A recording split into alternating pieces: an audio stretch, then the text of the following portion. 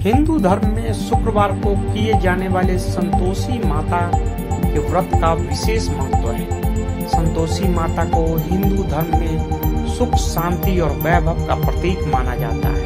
धार्मिक मान्यताओं के अनुसार माता संतोषी भगवान श्री गणेश की पुत्री है। कहा जाता है कि माता संतोषी की पूजा करने से जीवन में संतोष का प्रभाव होता है। माता संतोषी की पूजा करने से धन और विवाह संबंधित समस्याएँ भी दूर होने की मान्यता है।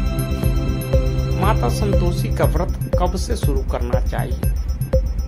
शुक्रवार को रखा जाने वाले माता संतोषी का व्रत शुक्ल पक्ष के प्रथम शुक्रवार से शुरू किया जाता है।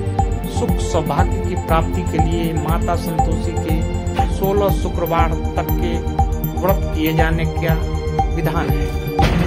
संतोषी माँ के व्रत में क्या खाया जाता है? संतोषी माता का व्रत करने वाले स्त्री पुरुष को खट्टी चीज़ का सेवन और स्पर्श नहीं करना चाहिए। माता संतोषी को भोग लगाने वाला प्रसाद गुरु व चने व्रती को भी खाने चाहिए। मानता है कि ऐसा करने से माता रानी की कृपा हमेशा बनी रहती है। माँ संतोषी के स्वरूप को माँ दुर्गा के सबसे शांत, कोमल रूपों में से एक माना जाता है। संतोषी माता कमल के फूल पर विराजमान है। ऐसे में माता संतोषी की पूजा के दौरान उन्हें कमल का पुष्प अर्पित करना चाहिए। संतोषी माता के पूजा विधि, विधान के बारे में जानते हैं।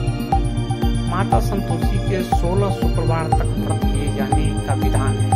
सूर्योदय से पहले उठकर घर की सफ़ाई आदि कर ले, स्नान करने के बाद घर में पवित्र स्थान पर माता संतोषी की प्रतिमा या चित्र स्थापित करें। अब माता संतोषी के सम्मुख एक कलश जल भरकर रखें।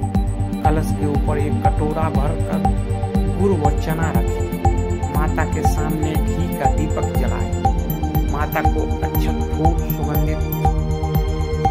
गंध, नारियल, लाल वस्त्र या चुनरी अर्पित करें। माता संतोष को गुरु व चने का भोग लगाएँ। अंत में माता की आरती उतारें।